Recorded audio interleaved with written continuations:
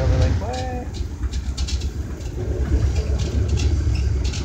Once my youngest moved out, I became a nanny for a little bit because I was still craving that having kids around thing.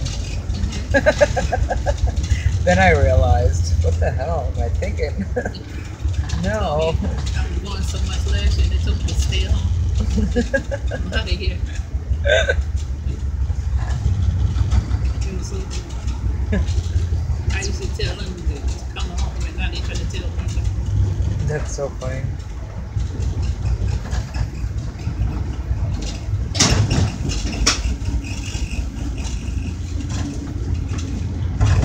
My girlfriend's I plan is to go to Puerto Rico next year. I'm gonna start saving money for that. That should be fun. And then we want to do all the West Coast.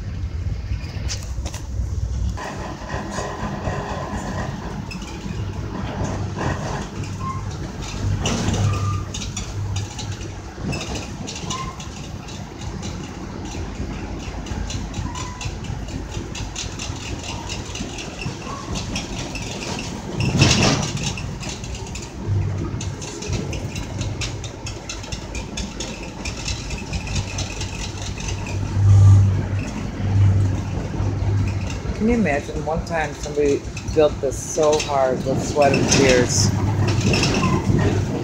Right? And now nobody's keeping it up.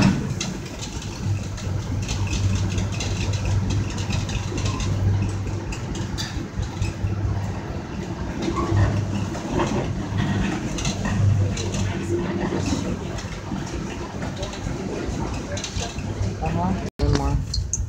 Just leave them messed up. It's sad.